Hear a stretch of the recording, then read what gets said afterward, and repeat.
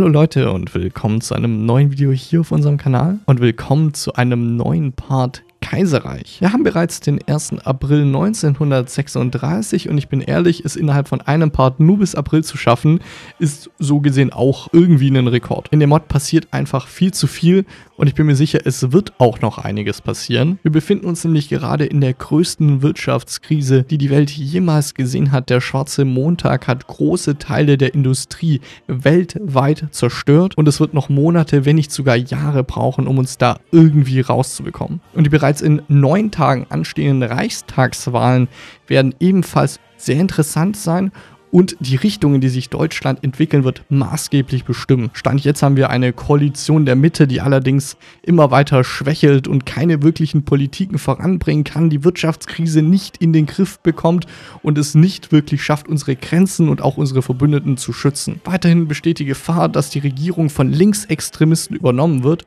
und dem müssen wir uns entgegenstellen, indem wir unseren Machtblock von rechts und auch die Unterstützung des Parlaments so sammeln und erweitern, dass wir Deutschland wieder stabilisieren und uns aus dieser Krise herausmanövrieren können.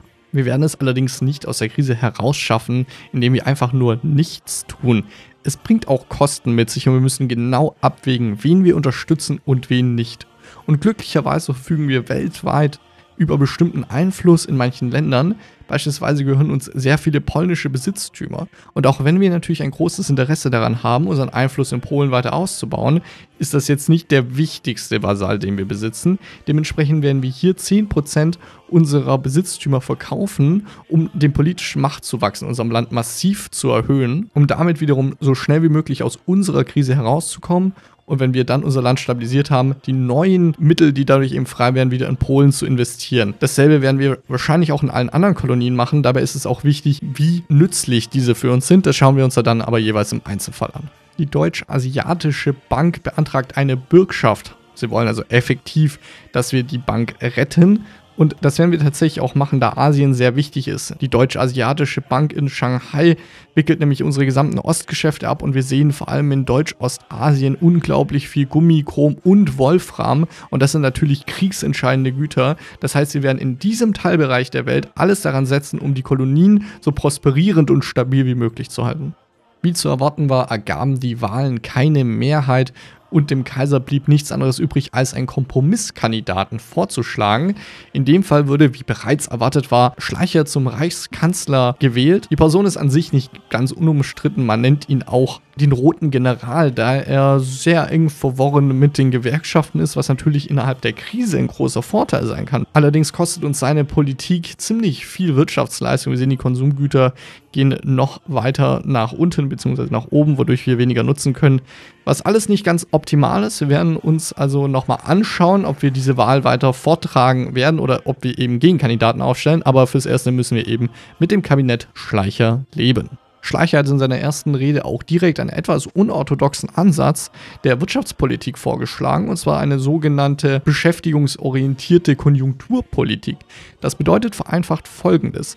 Wir haben momentan das Problem, dass sehr viele Leute arbeitslos geworden sind, dadurch haben sie kein Einkommen mehr. Da sie kein Einkommen haben, können sie nichts einkaufen, wodurch die Unternehmen, zum Beispiel jetzt ein Supermarkt, bei dem sie normalerweise eingekauft hätten, weniger Umsatz hat, seine Beschäftigten wiederum nicht bezahlen kann und diese gefeuert werden die wiederum haben weniger Einkommen und so weiter und so fort. Das Rad dreht sich immer weiter. Das Ziel ist es jetzt eben, diese Spirale nach unten zu beenden, indem wir in irgendeiner Weise eingreifen, zum Beispiel durch Beschäftigungsmaßnahmen oder indem wir Unternehmen Gelder zur Verfügung stellen, um die Leute wieder zurück in die Arbeit zu bringen, sodass sie ein Einkommen generieren, sodass sie einkaufen können, sodass die Unternehmen neue Arbeitskräfte einstellen können und so weiter, um eben wieder die Konjunktur in Schwung zu bringen und die Wirtschaft damit zu stabilisieren. Das ist im Jahre 1936 ein sehr unorthodoxer Vorschlag. Kleiner ökonomischer Einschub an der Stelle. Heutzutage ist das absoluter Standard und ihr habt bestimmt mal den Begriff Kurzarbeit oder ähnliches gehört. Das wird quasi in jedem Land der Welt inzwischen so oder so ähnlich gehandhabt. Hat auch Nachteile, auf die gehen wir später ein, ist aber auf jeden Fall ziemlich effektiv und vor allem, wenn die Wirtschaft in einem Ungleichgewicht ist, das eigentlich eher auf zum Beispiel Finanzmarktspekulation basiert hat, ist es sehr effektiv, da die Realwirtschaft ja noch dasteht. Es gibt immer einen gewissen Unterschied, ob zum Beispiel die Unternehmen komplett zerbombt wurden oder ob den Leuten einfach nur das Geld fehlt, um Waren zu kaufen, die bereits vorhanden sind. Wir beobachten das also weiter und befassen uns jetzt dann auch intensiver damit, den schwarzen Montag zu überwinden. Bei der Bekämpfung der Krise haben wir zwei Alternativen, und zwar den Ratentauplan und den Planentwurf von Tarnow und Bade. Beide gehen eher in eine keynesianische Richtung, was auch Sinn ergibt, da wir jetzt kurzfristig handeln müssen. Rechts sehen wir aber eindeutig stärkere Eingriffe des Marktes, beispielsweise durch Preiskontrollen, die ich sehr, sehr skeptisch sehe. Das kann funktionieren, wenn auch aufgrund von irrationalen Problemen, beispielsweise Preisverzerrung, Asymmetrie der Information, was in so einer Krise durchaus passieren kann, einfach die Preise über den Marktpreis steigen würden und man dann eben eingreift und verhindert, dass sie weiter ansteigen. Das kann aber zu klassischen DDR-Phänomenen führen, wie dass die Güter zwar sehr günstig sind, aber einfach nicht mehr vorhanden und sie auch gar nicht mehr importiert oder hergestellt werden können. Gleichzeitig kann man Arbeitsbeschaffungsmaßnahmen nutzen. Dadurch wird Leuten einfach ein Arbeitsplatz zugewiesen, der gegebenenfalls auch gar nicht wirtschaftlich ist. Das klingt zwar erstmal gut, weil die Leute dann arbeiten. Das Problem ist nur, dass dadurch, dass wir zum Beispiel Leute jetzt die Straßen fegen lassen und das vom Staat komplett subventionieren, konkurrierende Arbeitsplätze, die ebenfalls von solchen Leuten ausgeführt werden könnten, also vor allem einfache Arbeit, substituiert wird. Das bedeutet, dass die Löhne der Unterschicht weiter sinken können und deswegen sind solche Arbeitsbeschaffungsmaßnahmen nicht umsonst in den meisten Ländern wieder abgeschafft worden. Die können also komplett nach hinten losgehen, auch wenn sie kurzfristig natürlich einen gewissen Effekt haben.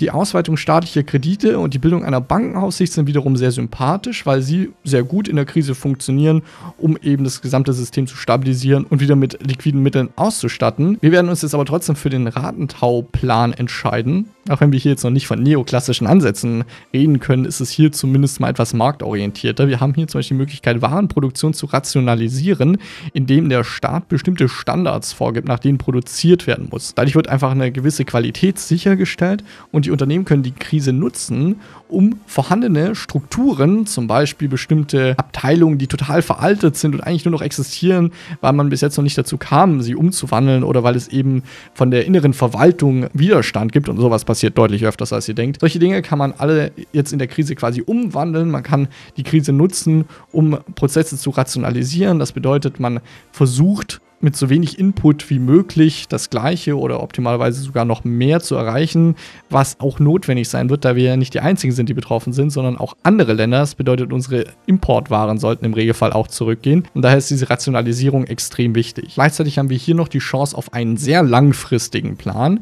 und zwar die Chancengleichheit, indem wir einfach versuchen, die guten Arbeitskräfte aus der gesamten Bevölkerung und nicht nur aus der Elite heraus zu erkennen, indem wir eben allen eine schulische Bildung ermöglichen. Das erhöht hier definitiv die Forschungsgeschwindigkeit und bringt uns langfristig extrem viel. Kurzfristig werden aber auch hier auf klassisch keynesianische Mittel gesetzt. Hier können wir zum Beispiel so eine Art Arbeitsbeschaffungsmaßnahme einführen, die aber gleichzeitig noch Zivilfabriken erschafft, was natürlich sehr praktisch ist. Und hier haben wir eine Art Staatsnachfrage, indem wir die Kriegswirtschaftsämter erneuern und damit zum Beispiel Rüstungsaufträge ausgeben um die Industrie wieder hochzufahren, Arbeitsplätze zu schaffen etc. Eben der Prozess, den ich vorher erklärt habe. Schauen wir uns jetzt aber das schwarze Montags-Minispiel an. Das Ganze funktioniert wie folgt. Wir treten quasi gegen die Krise an und haben Angriffs- und Verteidigungswerte. Das bedeutet einfach nur, wenn wir den wirtschaftlichen Abschwung abwehren, das bedeutet, wir haben mehr Punkte, wichtig, nicht Gleichstand, sondern mehr Punkte, dann bleibt die wirtschaftliche Lage auf dem Wert, den wir hier gerade sehen, beispielsweise minus 10. Wenn wir jetzt aber bei Investitionen auch noch mehr Punkte haben als eben die Krise hier, dann sinkt die wirtschaftliche Lage um 1. Um das Ganze zu beeinflussen, haben wir verschiedene Karten, die verschiedene Effekte haben. Zum Beispiel können wir die Art der Krise ändern. Wir können eben Punkte hinzufügen, wie hier durch die Geldausgabe in Form von Stabilität und Investitionen. Und es gibt noch ein paar besondere Karten, die spezielle Effekte haben. Wir haben allerdings nur eine beschränkte Anzahl an Instrumente. Allerdings durch unseren Fokus, den wir gerade ausgewählt haben, bekommen wir beispielsweise neue und können die auch immer weiter ausbauen. Und ich meine zu behaupten, es gibt sogar Events, die uns weitere Möglichkeiten geben. Unsere aktuelle Krise ist eine sogenannte Liquiditätskrise, also das klassische Phänomen, dass zwar Güter da sind, allerdings die Leute kein Geld in der Tasche haben, um es zu kaufen. Quasi das Gegenteil von dem, was während der Corona-Krise passiert ist. Natürlich ist es in solchen Zeiten sehr, sehr sinnvoll, die Geldausgabe zu erhöhen. Das kann, so kann man sich es am einfachsten vorstellen, dadurch passieren, dass der Staat einfach jedem Geld gibt, sogenanntes Helikoptergeld. Oder es kann zum Beispiel auch dadurch umgesetzt werden, dass die Zinsen gesenkt werden und dadurch die Banken mehr Kredite vergeben können, was auch insgesamt die Geldmenge erhöht. Das ist an der Stelle jetzt auch extrem effektiv, weswegen wir das einmal auswählen und uns damit nur noch 1000 Punkte auf beiden Seiten fehlen. Jetzt fängt das Spiel aber an, etwas komplexer zu werden. Und zwar kosten uns die meisten Karten Geld und dadurch steigt der Schuldenstand. Steigt der Schuldenstand auf 150 50% bekommen wir die ersten Probleme, steigt er auf 200%, gehen wir komplett bankrott. Wir können also nicht beliebig viele Karten ziehen. Allerdings gibt es auch die Möglichkeit, mit politischer Macht diese Schulden wieder zu senken. Das werden wir später sehen. Und deswegen ist es realistisch, dass wenn wir bei den Kolonien und solche anderen Ländern ein bisschen sparsam mit der politischen Macht umgehen und uns da ein bisschen drauf konzentrieren, dass wir dann die Schulden später wieder abbauen können. Das heißt, ich würde jetzt erstmal sehr offensiv Karten einsetzen, auch wenn zum Beispiel Beschäftigungsprogramme total ineffizient sind bei einer Liquiditätskrise. Das bringt nicht sonderlich viel, also wir haben keinen Bonus darauf, aber es würde uns trotzdem jetzt über die 2500 Punkte bringen, auch mit den Kapitalkontrollen, die vielleicht noch irgendwo sinnvoll sind, weil wir eben verhindern, dass Geld abfließt, aber das ist an der Stelle nicht so wichtig, weil wir eh den Goldstandard aufgehoben haben.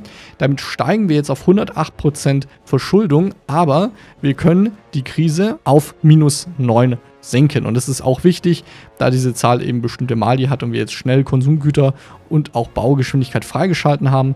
Und so treiben wir das Ganze weiter, wobei ich auch sagen würde, ihr müsst nicht jede Runde gewinnen. Es reicht teilweise, wenn ihr den wirtschaftlichen Abstieg blockiert habt, wenn ihr einfach ungünstige Karten habt oder auch die Krise überhaupt nicht zu euren Karten passt, dann ist es absolut legitim, das Ganze eben eine Runde weiter zu treiben, weil sonst geben wir einfach nur unglaublich viel Geld aus und haben dann zwar die Krise überwunden, sind aber so verschuldet und unsere Wirtschaft ist so demoliert, dass wir direkt in die nächste rutschen. Als Vizekanzler wählen wir natürlich einen Politiker aus der schwarz-weiß-roten Koalition. Soweit ich das verstanden habe, verhindert das nämlich, dass gegen Parteien aus unserer Koalition Maßnahmen ergriffen werden, um die irgendwie zu schwächen. Um das zu verstehen, muss ich direkt das nächste Minispiel erklären, und zwar das Kabinett Schleicher.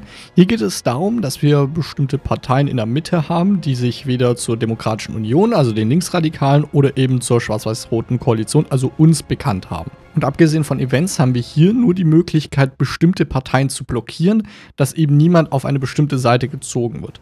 Und da müssen wir jetzt überlegen, wen wir denn wählen. Ich denke mal, es ist relativ klar, dass die DKP und auch die Bauernpartei zu uns halten wird. Und es ist auch ziemlich klar, dass die linken Parteien früher oder später zur Demokratischen Union kommen.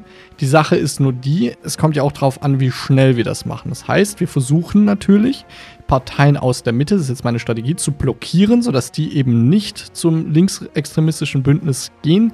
Gleichzeitig, weil wir immer zwei auswählen können, wählen wir aber auch eine Partei, bei der wir davon ausgehen, dass die Demokratische Union versucht, sie zu beeinflussen. Leider ist das hier jetzt nicht sonderlich übersichtlich dargestellt, aber ich habe auf jeden Fall mal die LVP blockiert, weil das einfach 28 Stimmen sind und weil es ebenfalls sehr viele Stimmen sind, das Zentrum links. Da es eben sehr problematisch wäre, wenn diese 59 Stimmen an die Linksextremisten fallen. Wir sehen hier, die haben 139 von 223 benötigten Sitzen. Wir haben gerade mal 83. Das bedeutet, wir müssen so schnell wie möglich aufholen. Wir stehen mal wieder vor zwei wichtigen Entscheidungen. Zum einen gibt es im Vereinigten Baltischen Herzogtum Aufständische und Probleme, die wir mit politischer Macht besänftigen könnten. Allerdings habe ich ja erwähnt, dass wir damit sehr sparsam umgehen müssen. Das bedeutet, wir werden nicht die 70 äh, politischen Punkte einsetzen, sondern die 30, um das Schlimmste zu verhindern. Wir werden das Ganze aber natürlich weiter beobachten. Wichtiger ist jedoch die Entscheidung über Preußens Ministerpräsident. Das System in unserem Land ist nämlich etwas kompliziert. Wie wir alle wissen, war es vor dem Ersten Weltkrieg normal, dass eben der Ministerpräsident von Preußen auch gleichzeitig Reichskanzler war.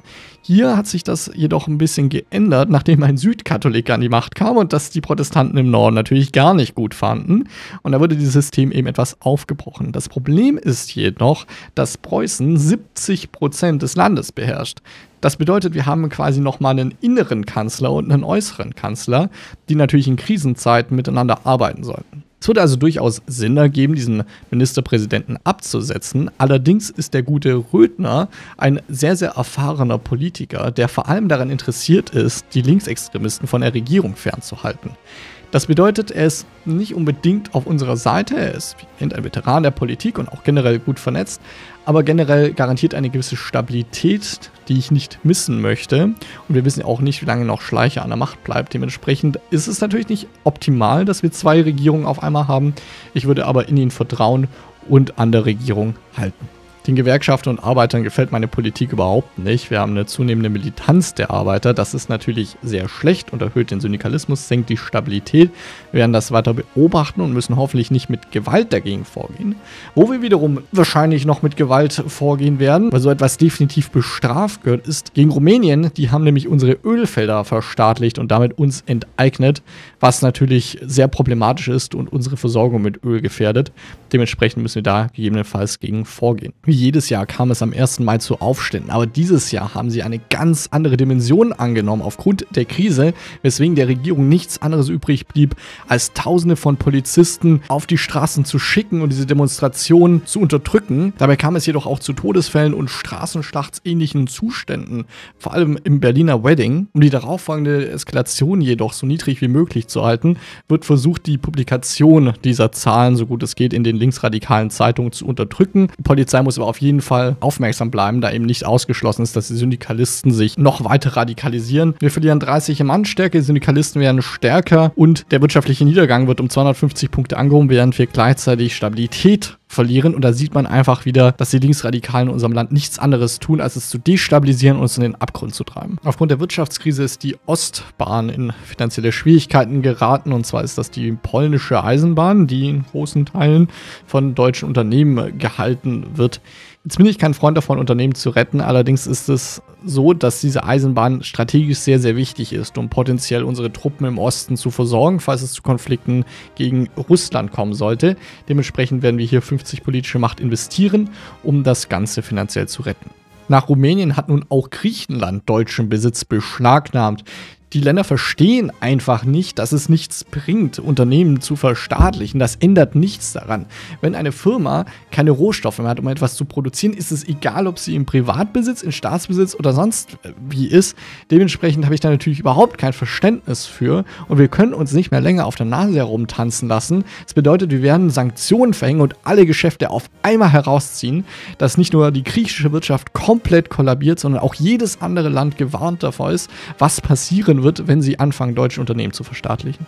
Diese Runde vom Schwarzen Montag ist etwas knifflig, da wir wieder eine Liquiditätskrise haben und wir könnten zwar den Typ ändern, allerdings haben wir noch die Preisüberwachung. Das bedeutet, um das Ganze zu gewinnen, können wir noch weitere Karten ziehen. Und auch die neuen Karten haben keine große Änderung gebracht. Wir haben also die Krise auf eine Arbeitskrise umgewandelt. Das heißt, wir haben hohe Arbeitslosigkeit und da hilft natürlich ein Beschäftigungsprogramm, das uns direkt mal 2250 Stabilität gibt. Das heißt, wir werden die Krise auf jeden Fall mal abwenden können. Jetzt ist die Frage, reichen die Punkte? Wenn wir hier nämlich noch den Reichspark Ost unterstützen, bekommen wir 1400 Punkte auf beiden Seiten und da sehen wir, wir sind genau 25 Punkte drüber. Es ist eben wichtig, keine unnötig teuren Maßnahmen zu ergreifen. Das heißt, wir haben die Runde auf jeden Fall sehr, sehr gut überstanden. Es ist der zweite Sonntag des Mais und damit Muttertag. Und natürlich lassen wir die künftigen Generationen wissen, dass Schleicher die Frauen mehr respektiert als jede andere. Ich meine, natürlich, als konservativer Politiker legt man ja immer sehr viel Wert auf die Frauen, was nicht nur Stabilität bringt, sondern auch die Beliebtheit der autoritären Demokratie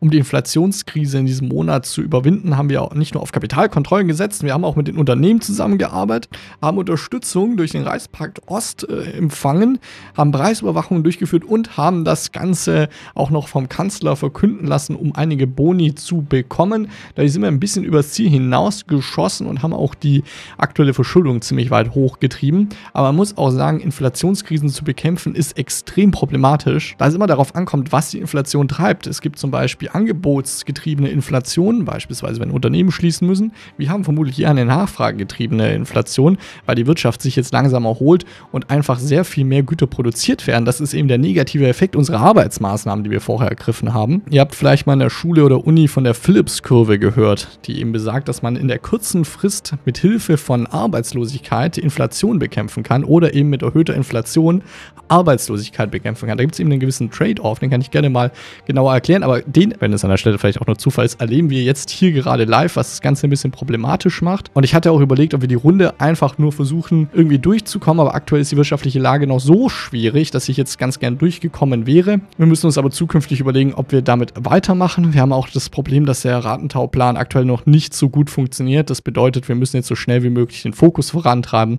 um noch mehr Karten zu sammeln, um diese Krisen überwinden zu können. Trotz unserer Bemühungen wurde die Regierung in Preußen gestürzt, was natürlich ein bisschen problematisch ist. Allerdings ist der neue Kandidat immer noch mit rechts orientiert, was bedeutet, dass leider auch die Sozialdemokraten einen Bonus bekommen, wir aber auch. Und wir bekommen noch mehr rekrutierbare Bevölkerung. Das kann vielleicht in Zukunft nützlich sein. Wir müssen die Situation in Preußen aber auf jeden Fall weiter beobachten. Die Zentrumspartei tagt und es war ein riesen Hin und Her, ob sie nun einen gemäßigen Kandidaten nehmen, der allerdings dann als zu schwach angesehen würde. Dann wollte man eine drei Dreifachspitze etablieren. Das hat allerdings auch nicht funktioniert. Und bevor das Ganze im Chaos versunken ist, ist nun ein bayerischer Konservativer an die Macht gekommen. Der gute Herr Fritz Schäfer, der sich natürlich eher der schwarz-weiß-roten Koalition annähern wird, was für uns sehr, sehr gute Nachrichten sind. Wir konnten Teile der preußischen Ostbahn an Ukrainer tatsächlich verkaufen. Wir besitzen immer noch genügend Prozent, sodass wir uns keine Sorgen machen müssen. Aber wir bekommen 50 politische Macht, was natürlich sehr schön ist. Was wiederum überhaupt nicht schön ist, ist der Generalstreik an der Ruhr. Die Folgen des 1. Mai sind jetzt nämlich auch auf dem Arbeitsmarkt zu spüren. Die Gewerkschaften haben höhere Löhne gefordert. Das konnten allerdings die Arbeitgeber nicht annehmen, weil die Lohnerhöhung zu einem Rückgang der Wettbewerbsfähigkeit geführt hätte. Und das bedeutet nicht, dass wenn zum Beispiel die Löhne um 5% steigen, dass dann eben der Chef 5% weniger verdient. Es kann bedeuten, dass wenn die Unternehmen wettbewerbsunfähig werden, sie überhaupt nichts mehr verkaufen und einfach komplett pleite gehen, alle Leute arbeitslos werden. Also da muss man manchmal schon abwägen. Es ist nicht einfach nur ein Benehmen den Leuten, die denen das Unternehmen gehört, irgendwie ein bisschen weg und geben es an die Arbeitskräfte. Nein, wenn die Produktionskosten massiv ansteigen, kann das dramatische Folgen haben. Dementsprechend konnten die Arbeitgeber nicht anders und haben auch ihr Mittel im Arbeitskampf genutzt, was übrigens äh, immer noch legal ist, und zwar die Aussperrung. Also es kann nicht nur gestreikt werden, es kann auch ausgesperrt werden, sodass die Arbeitskräfte eben nicht zur Arbeit kommen können. Aufgrund der Gegebenheiten, die eben schon davor geschehen sind, beispielsweise dem 1. Mai, hat dies allerdings zu einem Generalstreik geführt, da auch andere Arbeitskräfte aus der Region der Ruhr sich mit den betroffenen Arbeitskräften solidarisiert haben und dadurch gibt es jetzt mehr als eine Million Menschen im Generalstreik. Das ist natürlich hochgradig problematisch und sowas kann das gesamte Land extrem destabilisieren, vor allem wenn man bedenkt, dass wir gerade aus der Krise herauskommen wollten. Dementsprechend müssen wir uns dem natürlich widmen. Die Kommunisten versuchen den Aufstand an der Ruhr für sich zu vereinnahmen und rufen zum bewaffneten Kampf auf. Das ist natürlich hochgradig problematisch und wir sehen, dass die Eskalation bereits bei 40 von 100 ist. Das müssen wir natürlich direkt abschwächen. Da ist es jetzt unsere oberste Priorität, vor allem die Verbreitung von Propagandamaterial einzuschränken, indem wir die Verteilung von die rote Fahne, ebenso ein linksradikales Propagandablatt, verbieten und so gut es geht einschränken. Das wird fürs erste die Intensität etwas reduzieren, allerdings nicht äh, sonderlich weit Richtung Null bewegen. Das heißt, wir müssen das Ganze auf jeden Fall noch weiter beobachten. Es kam zu Straßenschlachten unter Zivilisten. Tatsächlich haben einige vom Streik eben auch geschädigte Bürger, Syndikalisten in Essen angegriffen. Nur ist die Frage, ob wir die Opfer entschädigen. Allerdings hat sie niemand dazu gezwungen, sich diesen linksradikalen Syndikalisten anzuschließen, weswegen es hier keinerlei Entschädigung gibt. Das kostet uns 75 politische Macht und 10% Stabilität, erhöht auch den Arbeitsaufstand, aber wir können kein Mitleid mit diesen Linksradikalen haben. In Südostasien gibt es einige Probleme. In Siam gab es vorher eine Revolution. Das hat schon angedeutet, dass die Lage hier ein bisschen instabiler wird. Aber tatsächlich versucht Indochina, natürlich getrieben von den linksradikalen Totalisten, unsere Gebiete zu erobern, was natürlich hochgradig problematisch ist. Wir können unsere Kolonien allerdings nur so gut es geht unterstützen. Wir können keine Truppen schicken. Wir können ihnen allerhöchstens Material äh, zusenden. Das werden wir vermutlich auch tun. Aber auf jeden Fall müssen wir diesen Krieg jetzt erstmal weiter beobachten und hoffen, dass wir die Kolonien halten können. Wie erwähnt, das sind so ziemlich die wichtigsten, die wir aktuell besitzen. Die Ruhrkonflikte eskalieren immer weiter und leben inzwischen große Teile unserer Wirtschaft. Daher kam die Idee auf, unseren Reichskanzler in das betroffene Gebiet zu schicken und zu versuchen, die Gewerkschaften zu besänftigen. Das ist prinzipiell eine gute Idee. Das Problem ist nur, dass wir den Reichskanzler natürlich nicht ohne Geleitschutz schicken können. Das bedeutet, wir werden natürlich zwangsläufig bewaffnete Truppen in das Gebiet schicken müssen. Und das birgt die Gefahr der Eskalation. Wir werden es allerdings versuchen und hoffen, dass das Ganze positiv ausgeht. Die rheinischen Arbeiter haben angefangen, Selbstverteidigungstruppen zu gründen, was uns an den Rand eines Bürgerkriegs treibt. Wir haben natürlich keine andere Wahl, als diese Gruppen mit Gewalt aufzulösen. Das ist eine Eskalationsspirale, die schon viel zu lange anhält und garantiert in so einem Konflikt ausarten wird. Das heißt, wir müssen jetzt einschreiten, bevor sie sich zu weit militarisiert und bewaffnet haben. Es ist Sedans Tag, fünf politische Macht. Wir haben einen guten Eindruck im Ruhrgebiet hinterlassen, was bedeutet, dass wir nicht nur Stabilität und politische Macht bekommen, wir können die Intensität des Ruhraufstandes auch reduzieren. Gleichzeitig habe ich die Produktion neuer Truppen tatsächlich beenden müssen, da wir keine Waffen mehr auf Lager hatten, um sie den indochinesischen Interventionstruppen zu schicken. Das bedeutet, wir schicken das einmal nach Fernost und beobachten nun, wie sich die Besetzung des östlichen Rheinlandes ausübt. Aktuell sind wir bei einer Intensität von 55 von 100. Das geht noch, aber wir werden das natürlich weiter beobachten. Belgien hat sich für unabhängig erklärt und wir haben ihnen sogar angeboten, das diplomatisch zu lösen. Sie haben den Vertrag jedoch abgelehnt, was natürlich hochgradig problematisch ist. Und ich sage mal, es ist gut, dass unsere Truppen bereits an der Grenze stehen, da wir potenziell eingreifen müssen, was natürlich problematisch ist, weil das Rheinland aktuell in Aufruhr ist. Dementsprechend können wir uns Stand jetzt keinen Konflikt leisten. Wir werden das Ganze aber auch weiter beobachten und uns noch offen halten, das Ganze militärisch rückgängig zu machen. Wir kamen jetzt auch zum ersten Mal in die Situation, dass es nicht sonderlich sinnvoll ist, die Runde gegen die Krise zu gewinnen, da wir alle unsere Punkte ausgeben müssen und dann gerade auf 3250 landen müssen, würden. Das bedeutet, wir müssten nochmal neue Karten ziehen und die aktivieren. Das wäre einfach zu teuer. Weiterhin haben wir das Problem, dass sich zwar der gesamte rechte Block jetzt uns angeschlossen hat, aber wir leider keine Mehrheit bekommen. Das bedeutet, wir können aktuell nichts anderes machen, als zu verhindern, dass die linken Parteien sich weiter zusammenschließen und ich versuche es gerade durch den Aufbau einer Propagandamaschinerie, die Sitze der Parteien, die wir aktuell kontrollieren, zu verstärken. Das ist nämlich unsere einzige Chance, wie wir auf die 223 Sitze kommen. Wir befinden uns politisch in einer unglaublich schwierigen Situation. Wir haben keine Möglichkeit mehr, eine parlamentarische Mehrheit zu erreichen, da wir wahrscheinlich nicht den Minderheitsblock oder die LVP, auch die rechte Flanke der LVP in irgendeiner Art und Weise zu uns bringen können. Die wirtschaftliche Lage ist zwar okay, aber da kommen wir aktuell auch nicht äh, wirklich voran. Das schauen wir uns aber gleich an. Das Problem ist jetzt nur, dass der Kaiser das Vertrauen in Schleicher verloren hat. Er hat es nicht geschafft, im Ruhrkampf tatsächlich für Ruhe zu sorgen, was weitreichende Konsequenzen für unser Land hat. Wie zu erwarten war, ist Schleicher schlicht und ergreifend zu schwach, um diese Krise zu überwinden, weswegen der Kaiser das Vertrauen in ihn verloren hat. Das ist jedoch die Zeit, dass die schwarz-weiß-rote Koalition sich zusammenschließt und endlich die Regierung bildet, wenn auch nicht über parlamentarischen Weg, dann doch durch die Gunst des Kaisers. Und dadurch sollte es möglich sein, die Syndikalisten im Ruhrgebiet endlich zurückzuschlagen und für Stabilität in unserem Land zu sorgen.